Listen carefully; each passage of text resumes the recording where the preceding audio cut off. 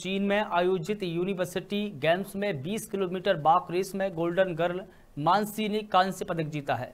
बता दें कि गोल्डन गर्ल मानसी नेगी ने चाइना के चेंगडू शहर में 28 जुलाई से 8 अगस्त तक चलने वाले world university games walk race में 20 किलोमीटर में भारत की ओर से प्रतिभाग किया और इस दौरान उन्होंने कांस्य पदक भी जीता। मानसी नेगी एथलेटिक्स गेम्स में कई दफ़ा नेशनल रिकॉर्ड तोड़ चुकी हैं और कई राष्ट्रीय रिकॉर्ड भी अपने नाम कर चुकी है।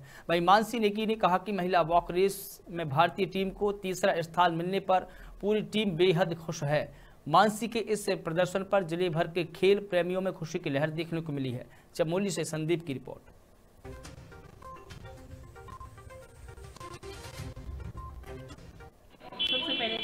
तो बहुत बहुत बधाई और शुभकामनाएँ दूँगी क्योंकि मानसी एक सुदूरवर्ती चमोली ज़िले की की है और उत्तराखंड की बेटी है। और उसने इस समय चीन में वर्ल्ड गेम में तीसरा स्थान प्राप्त किया है तो हमारे लिए बहुत बड़ी गर्व की बात है और आने वाले समय में मैं मानसी को ढेर सारी बधाई और शुभकामनाएँ देना चाहूँगी जिस जिस तरह से वो